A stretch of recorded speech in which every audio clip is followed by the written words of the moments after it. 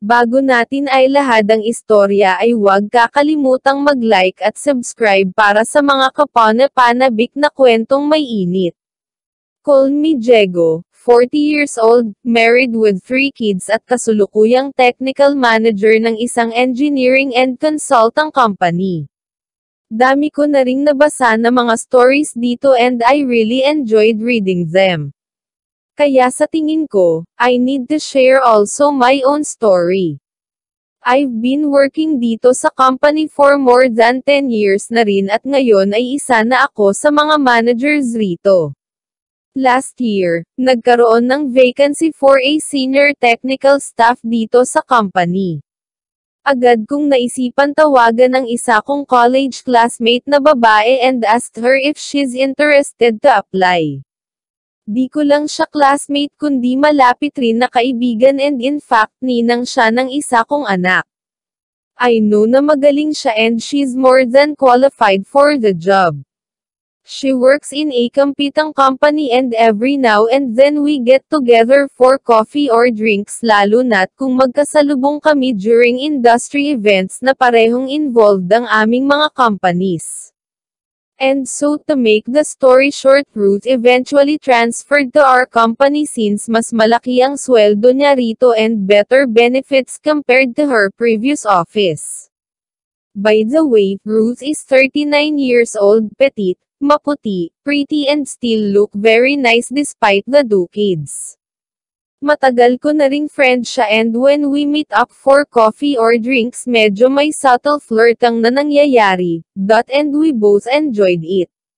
Medyo very careful lang kami kasi our spouses know each other so talagang mild flirtang lang talaga. I know Ruth to be quite a conservative woman plus dedicated rin siya sa family niya.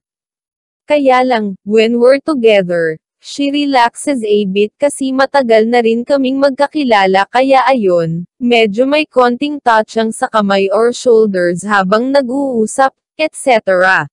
One day, nagkasabay kami ng trip to Cebu on company business. During the first day, napaka-hectic ng meetings naming at natapos kami mga 8pm na. We were staying in the same hotel together with colleagues from other companies. Dahil sa pagod, diretso ako ng room ko after dinner and rested. Mga 9pm nag-text si Ruth Diggs, let's go out for coffee, I'm stressed out. Sabi ko, okay, dot see you sa lobby in 15 minutes. When we went out, sa harap ng hotel merong jazz bar so instead of coffee we decided to go there for a drink. Sanmig light for me and margarita for her. Ang galing ng band, so we enjoyed the music. Plus cozy ang atmosphere. Si Ruth naman talagang hanggang one drink lang siya bought that night, dahil na rin siguro sa pagod and the ambience ng place, she ordered another drink after ng first niya. Nakaskirt siya and blouse at magkatapat ang chair namin front ang the band. After the second drink naming, medyo uminit ang pakiramdam ko, open kasi ang top two buttons ng blouse niya at nasisilip ko ang boobs niya na natatakpan ng black bra.